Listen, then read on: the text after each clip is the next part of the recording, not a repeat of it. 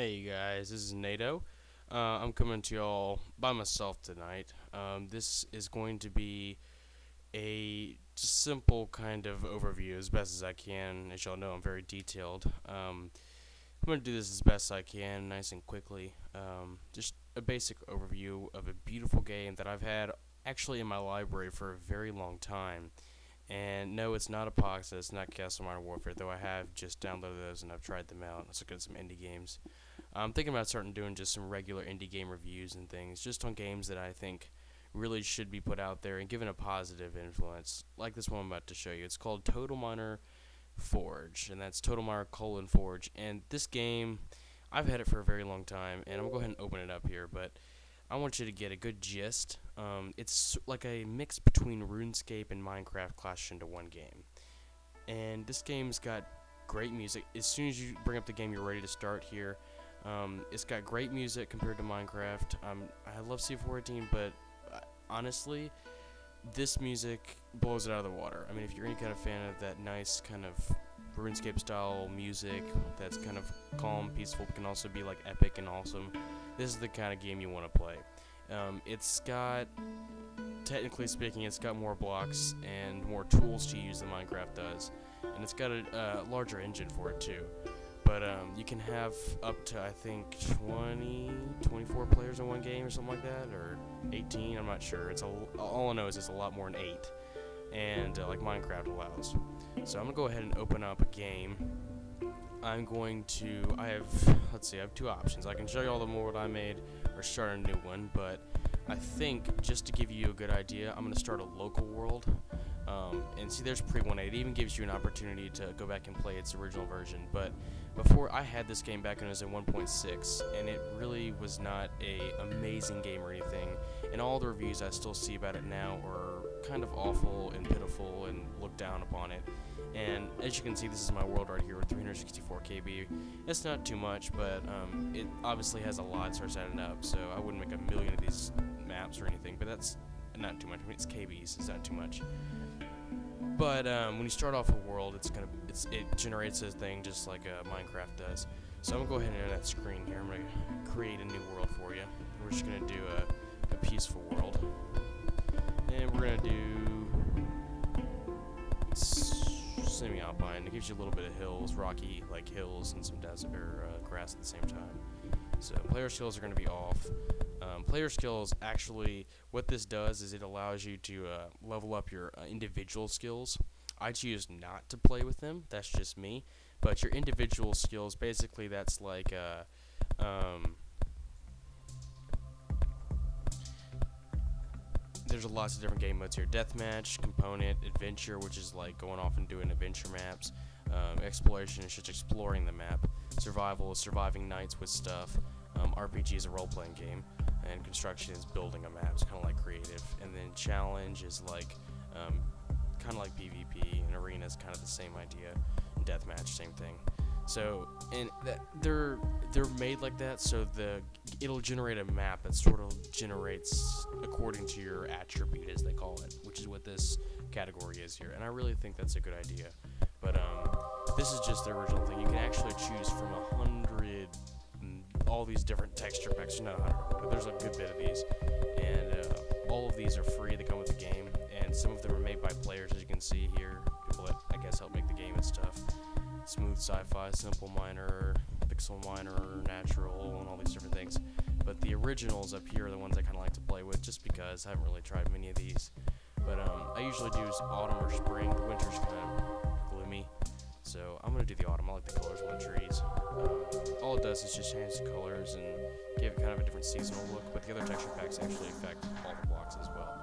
And um, yeah, so as you can see in the back, it's, start, it's starting to show me uh, trailers and stuff that have texture packs relating to the autumn texture pack.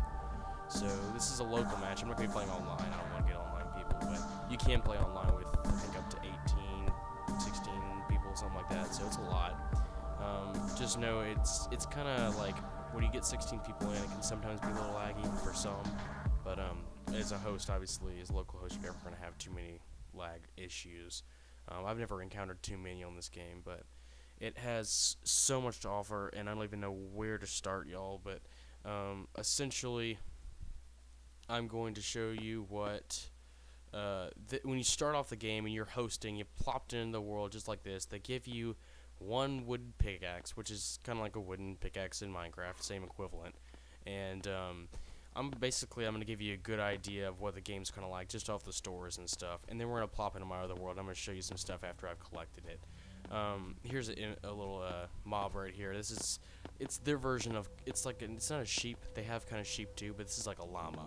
And um, as you can see, when you hit animals, um, if I can actually hit it, Oh, we're in peaceful. That's right. I can't damage animals. But uh, I'll show you on the next world though. When we get there, one of my favorite things about this game they've added now is when you actually attack animals. There's a GUI that actually brings up numbers and stuff while you're attacking, which just kind of brings in the RuneScape aspect. And there's different uh, weapons you can craft to hit higher numbers and upgrade your skills and stuff when you're playing with player skills to upgrade your combat. So like the more you attack, the higher your combat level gets and stuff. So when you start the game, if you're the host, you'll be given these two blocks for free. Um, one is called a block store, and one is the tool store. The tool store sells all the tools in the game, and this is the entire entirety of all the tools and items you can use in the game. Anything from like troll hide, cow hides, and leather to every single weapon imaginable, jewelry, all the keys, and keys are just used to unlock doors and ward off different kinds of animals and stuff. And there's so many different kinds of them that drop by all these different animals. So they're really nice. So you can't really guess the right key that unlocks the door. So that's that's always a cool aspect I just figured out. And I'm like I just and that's this is a good point to say. I'm constantly learning new stuff about this game that I never knew. So they've got uh, troll hide helmets, iron. Uh, the my bad, the troll hide, which is made from the uh, troll hide collected from trolls, titanium made from titanium carbonide, and there's obviously full sets of armor, and they look really cool. And um, sadly, you don't see the armor on your character, but they have a lot more unlockable character. Their actual skins aren't purchased like Minecraft skins. You unlock them via in-game achievements, like creating your first pickaxe, carving all the different kinds of wood, cutting down like 10 trees, and crafting 10 blocks of wood and sticks and stuff You unlocks the carpenter skin. And I don't have many of them, but I'll show y'all some. Killing your first character gives you like a ninja, that kind of stuff. Um, one I'm working for right now is the Diablo, which is one of the hardest. It's the hardest animal in the game to kill. Killing it with a ruby sword unlocks a skin, so that'd be really cool. But yeah, so these are all your tools, and you can buy them. And as you see, it says down there on the bottom, um, like Ring of Bob, 5,102 coins, and all these different prices around. And the Dynamantium sword, three 34,808 gold each. Well, those prices are actually there's actually in-game money, and what I realized is, well, early on I figured this out. Every single block you mine, everyone in the game, like see, I just mined that one block. Now I go to the block store to sell it, not the tool store, but I go to the block store and see press A to sell one, X to sell 10, I sell it, now I've got 20 gold pieces. That one block is worth 20 gold pieces. And then this money, which is the currency here, as you can see, 5 gold. Anyway, that's kind of funny. And you can buy stuff like I'll go mine another one, and then I can actually buy a torch for 21 gold. And this goes on and on. So like when you're mining, it isn't actually worthless to mine all the rocks and stuff around you for strip mining, because all those rocks that you get are worth like 10, 20 gold a piece once you get down a couple layers. And as you go down, I'm going to show you in the next map, it actually tiers down uh, different colors of rocks and stuff, and as you go down, they increase by tens. So this is the world generation process, and um, I'm on a a biome called semi-alpine, which puts these kind of hills in here with a little snow, but it also gives you some valleys and stuff with forests and trees, um, and just basic crafting stuff. If you mine one of these um, leaves and one of the green pine leaves that you see over there, you can actually put them together, and they have crafting. Um, if you go to your inventory, which is actually B, and then you hit equip, which here says Y, equip, or no, my bad, uh, press start to craft um, they have the original crafting here, just like sort of Minecraft does with the four here. You can make a crafting bench, and then the crafting bench you can get uh, nine a nine block square, and that's where you create most of the stuff. But if you go here and you can actually press start again, and they have something called Easy Craft. which is just like in Minecraft Xbox 360 edition, where you can um, automatically mine things, or you can choose to put them in the thing yourself. And honestly, this game gives you both opportunities. It gives you an opportunity to use the original crafting method, or using the uh, blueprints here, like in the old versions of uh, Total Miner. But luckily, you do no longer have to uh, collect all the blueprints of the different uh, keys, except if you're playing. Um, what you call it, uh, Dig Deep, which is a different version, different mode of the game than survival or creative or peaceful. It's actually where you uh, constantly trying to dig and collect stuff, and that's when you actually do have to worry about player skills and blueprints, and it's kind of more of a classic game. It's a different kind. I haven't really played it, but uh, it's different, and I know in that one you do have to collect blueprints, but other than that, you never have to get blueprints. They're all here on uh, EasyCraft for you, nicely laid out, and they tell you the uh, ingredients and the recipes here, and you can make them yourself via the EasyCraft or putting them in the crafting table yourself. So obviously I'm not going to go around and build a, a crafting table and you'll show y'all how to survive. Y'all hopefully know how to do that. It's actually really simple. Um, same controls as Minecraft and stuff. Um, but one thing, one feature I do like is you can press select here and it builds up a map. And this map is actually the entire uh, um, landscape that I've been able to see so far. It's actually kind of a square. It goes, I'm pretty sure it goes out here too. And this square, you can actually set markers on it. See, like right where I am, I can set a marker here. Just press X, and then I can actually set a marker, and I'm just going to label this one start, and it actually labels it. So when I walk around the map, say I go like far away from here, I want to be able to find my uh, home base that I put my stores in, because it's really hard to buy stores, really expensive, as you can imagine. So you really only get like a couple of those unless you get filthy rich. So if I get away from it, you want to be able to find your way back, and a lot of the hills kind of look the same. Well, then you press select again, you go back to your map, it builds it up for you. And see, I walk this way, and here's the start here. So if I go this way a little ways, then I bring up the map again and go, oh, hey, I'm going the wrong direction. So I go back this way, and then I'm able to re-navigate myself back to the start. Um, one thing they haven't necessarily done too well of a job of is establishing directions very easily on the map. Like there's no actual pointer that says where you're going. So it's really kind of confusing. You have to kind of watch your coordinates down there in the bottom uh, left-hand corner and watch which direction the numbers are going up to help you get to the longitude, latitude, or the block via block, whatever, um, coordinates of your um, marker. So that's uh, one way to do it. But it's I think that's a really cool aspect. And you also can um, when you set up uh, multiplayer and stuff, which I'm not really going to do on this video, but if you set a multiplayer, you can actually see all your players on the map and stuff. You can toggle people admins right there. You have quick controls. And just like Minecraft, this game does offer uh, permissions, and the permissions, uh, adventures like attack animals and walk around, edit is actually being able to destroy the map, creative is being able to use the shops, fly is while you're in creative mode, getting able to fly, map, be able to build that map I just showed you, chat, be able to use in-game chat uh, rooms, it actually creates a lot of lag, so I usually keep that one off. Uh, grief, using any kind of major grief items that explode the map or destroy blocks, and then uh, save, which allows them to um, save their data when I save the game. And admin abilities, which allow them to um, control different aspects of the game and make other people admins and things like that. So that is permissions. Um, you can um, what the skins are unlockable, like I said earlier, with via uh, achievements and stuff. And unlockable skins like the carpenter here and stuff, I've unlocked. Craft your first workbench and things like that. Chop down a tree, you get a little tree hugger and things like that. Kind of funny and they have different capabilities, different places, and different modes where you can actually use them over on the right. You see there when they pop up. And you spawn as a boy, and you can get a girl, original, girl 2, and all these different things going down. And the one I'm trying to get right now is called a uh, Diablo. It's kind of a demon kind of thing, and it says kill me with a ruby sword. And uh, it's right here. And I almost killed one. You have to use a bow and stuff because those things hit like 53s, and you only have 143 health no matter what you do. So Alright, so before it gets to nighttime here, I'm going to go ahead and swap over to the other map while I continue explaining this. Um, so, I'm not going to save that. But um, when you play, um, if you play local and you go on, you get a lot less lag and a lot less having to deal with people uh, popping into your world all the time. But um, basically, uh, I'm going to, uh, when I play, I usually play it on normal so you can get some of the harder animals and monsters and stuff around your base a lot easier so you don't have to go travel for them. I keep PvP off just in case someone wants to, you know, mess with me.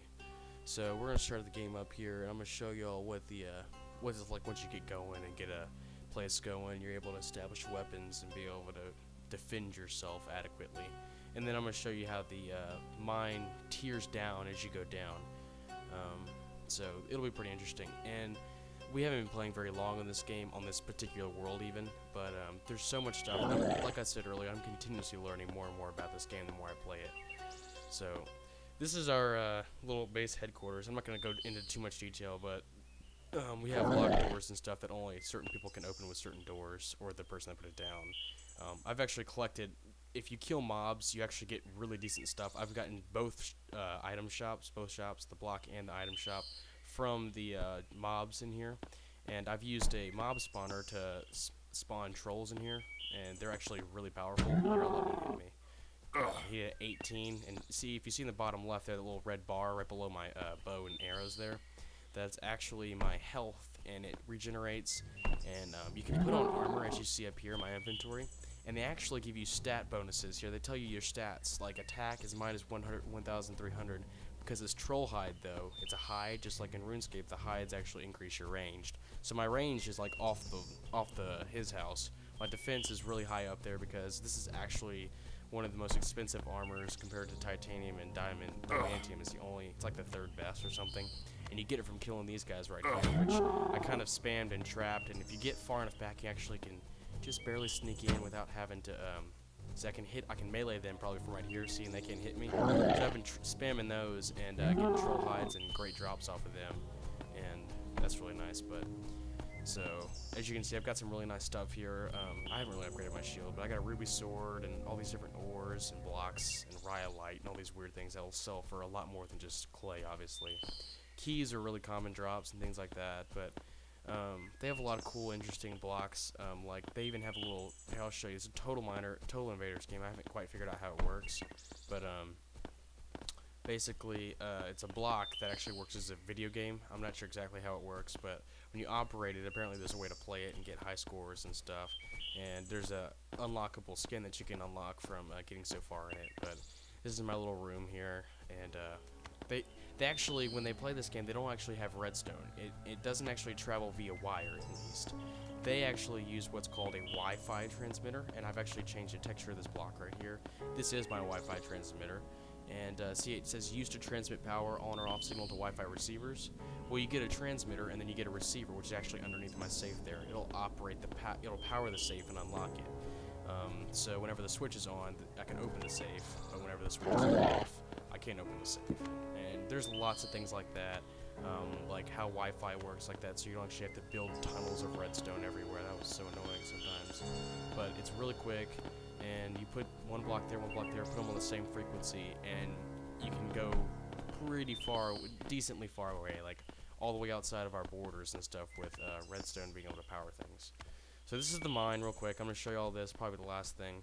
But as you go down, see, we started with clay. I think this is sandstone and now I think we're in basalt, and it continuously changes, and it goes down and down and down, and these are all the rhyolites and dimantanites and all these different ites right in here, and then we get down into the coal, and then we go past that, and all these weird smooth ones, and then the serpentine, and uh, as you go down they change colors, but starting at the top, the clay I think is only worth 10, or less than that, and then it gets to 10, it goes to 20, and then 30, and then 40, and then 50, and then 60, and I think the serpentine is worth 70 apiece, and this stuff must be 80, and then uh, uh, he's waiting on going down into the next level, I think this is granite, and it's going to be like 90, and that's 90 per block, and obviously you have to increase your pickaxe um, value as you go down and down, so he has to mine a lot and then wait till he gets the next pickaxe and then he goes down, gets to this level, and he has to mine a lot before he's ready to go down to the next level. So that's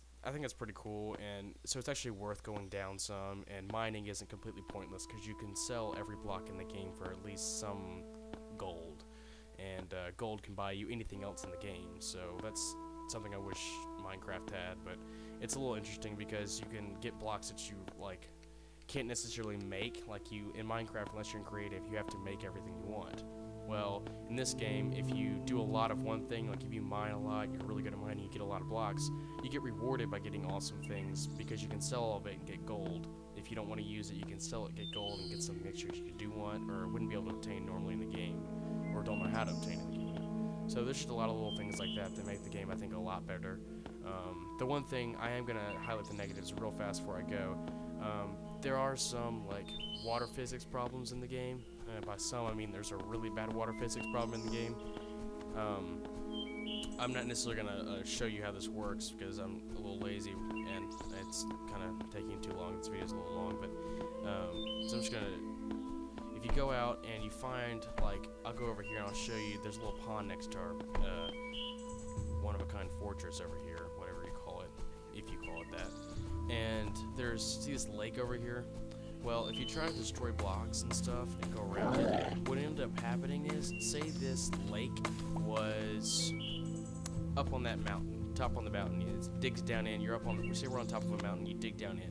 Well, if I destroy like the edge, and there's like a cliff right here, and I destroy that block right there, the actual water source blocks, they're all water source blocks. There's no such thing as a water flow block or a uh, semi block. There's, they're all source blocks every water source block is infinite as far as its range capabilities. If you destroy one block and the water is able to leak out onto the mountain, it just shoots out horizontally and it'll cover the entire map in every direction.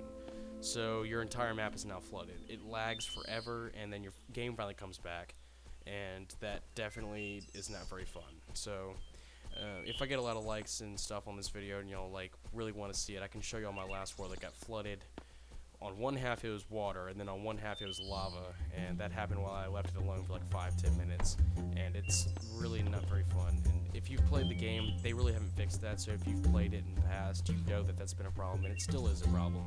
But other than that, um, I really think it's got um, great potential, and I think a lot of people give it uh, really bad reviews and stuff, when it really does have some good qualities. And like I just noticed that I forgot to mention on the left, on the top left, you see that little tiny map right there.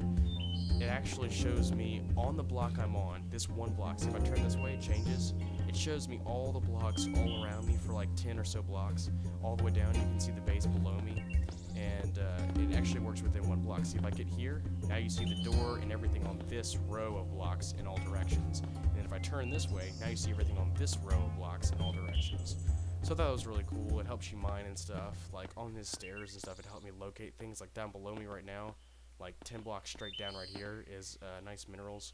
So if you're the host, only the host gets this. But I mean, if you are the host, it's really nice to have that.